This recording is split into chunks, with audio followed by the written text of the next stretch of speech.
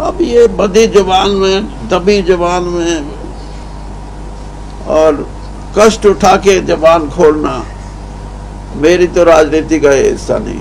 मैं तो साफ़ ये कहता हूँ कि ये गठबंधन एक स्थायी सरकार देने के लिए, क्योंकि हमारे पास स्पष्ट बहुमत नहीं था, और एक पार्टी का समर्थन लेने से स्टेबिलिटी सरकार में स्थायित्व देने के लिए ये प्रयास था और उस प्रयास में हम सफल रहे हैं और ये गठबंधन पाँच साल तक राज चलाने के लिए था और इसीलिए मैंने आपको शुरू में कहा कि अगर नवंबर में इसी नवंबर में चुनाव कर, कर, करवाने फिर तो हो गए पाँच नहीं तो चार सही। गठबंधन में हैं रहो हमारी बात ही मत सुनो।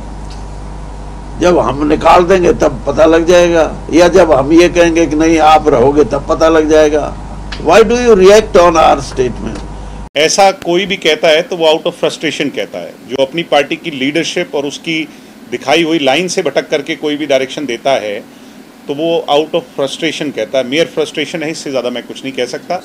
और भारतीय जनता पार्टी और जननायक जनता पार्टी का मज़बूत है। सत्य खबर, सत्य, सटीक, बेबाक।